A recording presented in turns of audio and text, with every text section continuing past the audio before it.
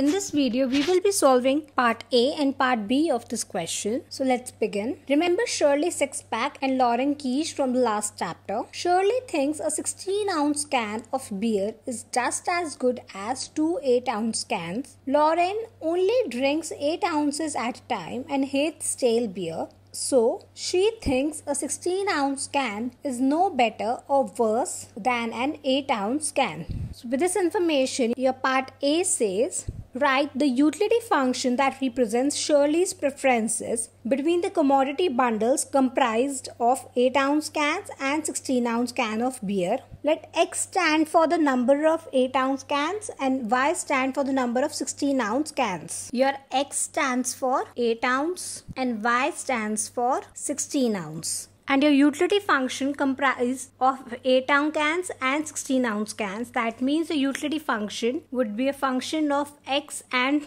y.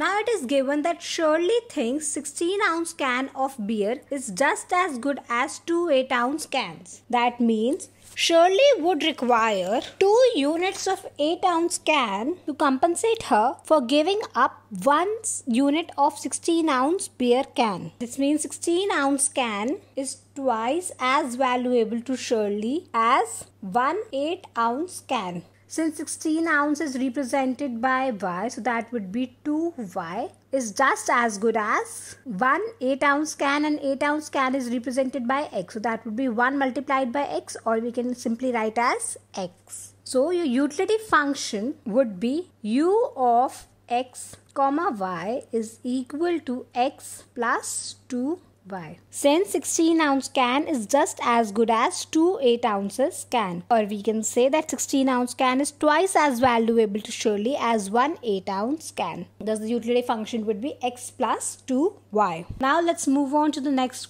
part which says now write the utility function that represents Lauren's preferences. Again your X stands for 8 ounce can and Y stands for 16 ounce can and it is given that Lauren only drinks 8 ounces at a time. That means she hates stale beer. So she thinks that 16 ounce can is no better or worse than an 8 ounce can. Since Lauren consumes only 8 ounces of beer at a time, thus both 8 ounce can and 16 ounce cans are equally valuable to her. That means she would require 1 unit of 8 ounce can to compensate her for giving up 1 unit of 16 ounce of beer can that means the utility function would take the form of u of x comma y as utility function is a function of x and y which is your 8 ounce can beer and 16 ounce can beer so that would be x plus y since she thinks that 16 ounce can is no better or worse than an 8 ounce can and thus Lauren values both the cans equally hence the utility function would be x plus